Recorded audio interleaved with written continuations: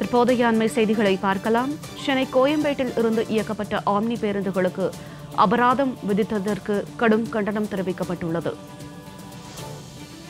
கிளாம்பாக்கத்தில் omni பேருந்துகளை நிறுத்துவதற்கு போதிய இடவசதி செய்து தரவில்லை எனவும் குற்றம் சாட்டப்பட்டுள்ளது.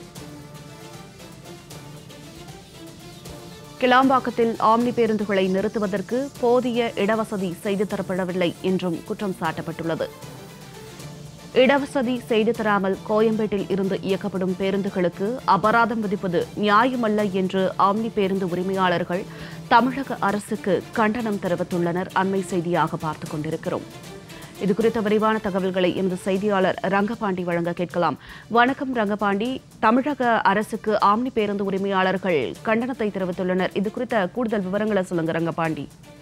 வணக்கம் கிளாம்பாக்கம் பேருந்து நிலையத்தில் இருந்து ஆம்பளை பெண்களை நிறுத்துவதற்கு போதிய இடவசதியை கொடுக்காமல் நேற்று இரவு கோயம்பேட்டில் இருந்து பேருந்துகளை இயக்கியதாக கூறி பல ஆம்னி பேருந்துகளுக்கு போக்குவரத்துறை அபராதம் அறிவித்துள்ளது இதற்கு ஆம்னி பேருந்து உரிமையாளர்கள் க- சங்கம் கடுமையான கண்டனத்தை தெரிவித்திருக்கிறது. கோயம்பேட்டில் இருந்தக்கூடிய இந்த பேருந்து நிலையத்தை கிளாம்பாக்கத்திற்கு மாற்றிய பிறகு அங்கு இருக்கக்கூடிய ஆம்னி பேருந்துகளுக்கு போதிய பேருந்துகளை நிறுத்துவதற்கான இடவசதி இல்லை.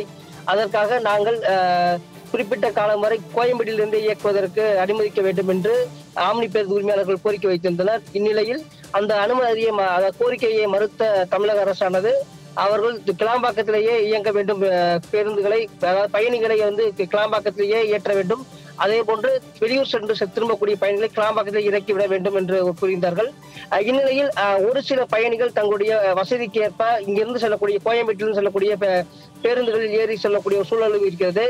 இந்நிலையில் அங்கிருந்து அதாவது கிளாம்பாக்கத்தில் பே- ஆம்னி பேருந்துகளுக்கு போதுமான இடஒதுக்கீடு இடவசதிகள் செய்ய அதாவது பார்க்கிங் வசதிகள் முறையாக இல்லாத காரணத்தால் அங்கிருக்கக்கூடிய அஹ், ஆம்னி பேருந்துகள் கிளாம்பாக்கத்தில் பயணிகளை இறக்கிவிட்டு மீண்டும் கோயம்பேடு மற்றும் அவர்களுக்கு இருக்கக்கூடிய இடங்களில் வந்து பேருந்துகளை நிறுத்தி கொண்டு செல்கிறார்கள்.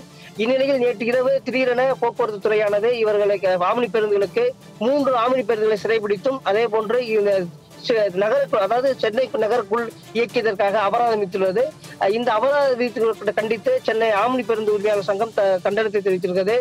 தமிழக அரசானது முறையான ஆம்னி பேருந்து உரிமையாளர்களுக்கு முறையான ஒரு பார்க்கிங் வசதி செய்து தர வேண்டும் என்றும் கோரிக்கை வைத்துள்ளது. ஏற்கனவே ப- பயணிகள் மிகுந்த சிரமத்திற்குள்ளாகக்கூடிய சூழலில் இது போன்ற ஆம்னி பேருந்துகளை பயன் அபராதம் விதித்துள்ளது. ஆவணி பேருந்து உரிமையாளர் மத்தியில் மிகுந்த ஒரு அச்சத்தை ஏற்படுத்தியிருக்கிறது.